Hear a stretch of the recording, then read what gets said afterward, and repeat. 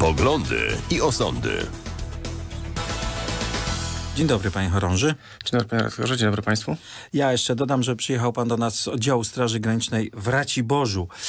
E, a wcześniej y, bywał pan na misjach. Y, proszę mi powiedzieć, kiedyś na misję wyjeżdżało wojsko polskie, teraz wyjeżdża Straż Granicz- Graniczna. Po co i gdzie? Yy, tak jest, wyjeżdżamy celem wsparcia innych państw, pomocy przy sprawowaniu nadzoru nad ochroną granicy zewnętrznej yy, Unii Europejskiej, strefy Schengen. Y, Ta granica zewnętrzna to, to którędy ona biegnie? No tutaj wiadomo, y, nasza wschodnia Skandynawia, granica. wschód, południe, południe Europy, Bułgaria, Rumunia. Pan był na kilku misjach. Gdzie? Tak jest, Grecja, Rumunia, Węgry. Miesiąc temu wróciłem z Bułgarii. I co pan na przykład w Bułgarii robił? Jak tam chroni się zewnętrzną granicę Unii Europejskiej? Mm, Na misji w Bułgarii sprawowaliśmy nadzór nad zewnętrzną e, granicą Unii Europejskiej. Polegała nasza praca na patrolach e, wzdłuż linii granicy z Turcją. E, tą granicę chcą przekraczać nadal tak masowo imigranci jak jeszcze rok temu? Zdarzają się grupy ludzi, może nie w takiej ilości jak w zeszłym roku, czy dwa lata temu, ale w dalszym stopniu próbują ludzie.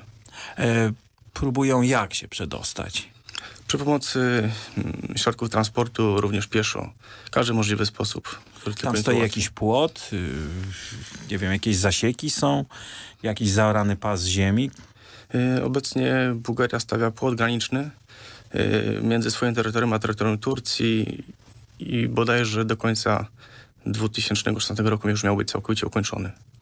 No dobrze, ale te, teraz płotu nie ma, tak? I są patrole. I także między innymi Polskiej Straży Granicznej. Y, Płot jest. Płot fizycznie jest fizyczną barierą, która chroni y, terytorium Unii Europejskiej od, y, od samej Turcji, ale nasze patrole również wspomagają Bułgarów w pilnowaniu tego rejonu. Rozumiem, że no, potrzebne są te patrole, dlatego że płot czasami można rozciąć, tak, albo przeskoczyć. Można. Zdarzały się przypadki samego cięcia płotu lub omijania miejsc, gdzie płot był w danym momencie stawiany, więc y, nasze patrole wspierały y, bułgarskie służby graniczne w pilnowaniu No i ludzie, których łapaliście na granicy, co to byli za ludzie? Skąd oni uciekali, dokąd i dlaczego? Y, Najczęściej zdarzały nam się osoby z rejonów, z krajów takich jak y, Afganistan, Syria, Irak, Iran. Y, Próbowali się dostać do Europy, uciekając przed, przed sytuacją, która w ich miejscu zamieszkania No tak, ale te sytuacje tam są różne. W, w Iranie nie ma wojny, w Iraku już nie ma wojny, w Syrii jest straszna wojna. Jak rozróżnić uchodźcę od imigranta? Y, Nasza praca nie polega na odróżnianiu uchodźców od imigranta, tym już zajmowały się wyspecjalizowane osoby, które są w tym celu przeszkolane. Naszym zadaniem polegało na wykwyceniu osób, które już się przedostały na terytorium Unii Europejskiej. Mhm. A proszę mi powiedzieć, czy tym osobom pomagają jakieś zorganizowane grupy przestępcze, które na tym zarabiają? Dużo się mówi o, yy, o gangach, k- tych łodziowych gangach, które zarabiają no, miliony dolarów czy euro na tym, że przemycają ludzi, często ich oszukując albo porzucając na morzu czy gdzieś w górach. Ktoś, ktoś tym na pewno kieruje, tylko trudno mi teraz powiedzieć, ponieważ w momencie zatrzymywania osób już na terenie te, na terytorium Unii Europejskiej e, samych organizatorów nie zatrzymywaliśmy, zatrzymywaliśmy tylko same grupy ludzi. Ja wiem, no ale no, yy, przesłuchiwaliście później tych zatrzymanych. Zapewne wam mówili coś ciekawego o swoich losach. E, Samych przesłuchań nie prowadziliśmy, od tego są, były specjalnie przeszkolone osoby. E, Naszym zadaniem było od samego zatrzymania dostarczenie osób do placówki e, w miejscu, w którym pełniliśmy służbę. Tam dalej miejscowi funkcjonariusze przejmowali osoby od nas. A to proszę nam w takim razie powiedzieć coś o tych ludziach, płeć, wiek, no, bo powiada się różnie. Niektórzy mówią, że ci uchodźcy to są głównie rodziny, matki, dzieci, czasem starcy. Inni twierdzą, że imigranci to przeważnie młodzi, silni, sprawni mężczyźni ze smartfonami. Zdarzały się róż, różne przekroje wiekowe. Kobiety, dzieci, młodzi, starzy. Y, nie- Niezależne grupy y, składały się z, z nieraz z samych młodych, starszych osób. y, Różnie. Zależy, która grupa szła. Nieraz całe rodziny, po 10, po 12, 13, 14 osób się zdarzały. A jakie najbardziej przemyślne sposoby sforsowania granicy w trakcie tych sześciu misji, na których pan był pan zaobserwował, był świadkiem, zapobiegł lub nie zapobiegł? Każdy sposób, który, jest, który się udaje, jest, wydaje mi się, dobry, więc No, jakie były na przykład? Gdzie się ludzie chowali albo... w pojazdach przestrzenie ładunkowe, nieraz y, w specjalnych skrytkach konstruowanych do tego celu.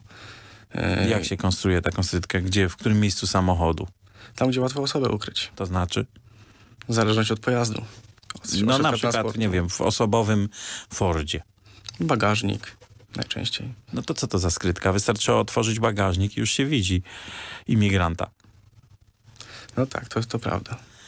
A y, jak wielu, y, znaczy albo inaczej, y, co jest takiego niezwykłego, że akurat wy, Polacy, my, Polacy, musimy szkolić naszych zachodnich kolegów? Wspieramy inne służby graniczne w państwach. Wspieramy poprzez, jakby, Przez samoobecność też? przez obecność, przez, przez kierowanie ludzi y, odpowiedzialnych za weryfikację dokumentów, za weryfikację krajów pochodzenia, y, samy nadzór nad zieloną granicą, użyczamy sprzęt uczestnikom misji. A jak się porozumiewacie na przykład z Bułgarami, czy z Grekami, czy z, Wę- o, z Węgrami? Był pan na Węgrzech na misji, no? Najczęściej język angielski. Po angielsku, Tak tak?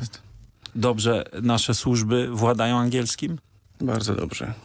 Żeby być, żeby y, uczestniczyć w misjach organizowanych przez agencję Frontex, a jak i również przez umowy dwustronne należy y, w minimalnie w stopniu komunikatywnym, w stopniu B2, który jest zweryfikowany w naszych ośrodków szkolenia, znać język angielski. A jakaś taka najbardziej łzawa, dramatyczna historia, która ścisnęła pana za gardło, za serce? Nie spotkałem się z czymś takim w trakcie misji. Dziękuję. Moim gościem był chorąży Michał Błaszczyk z oddziału Raciborskiego Straży Granicznej. Dziękuję bardzo. Poglądy i osądy.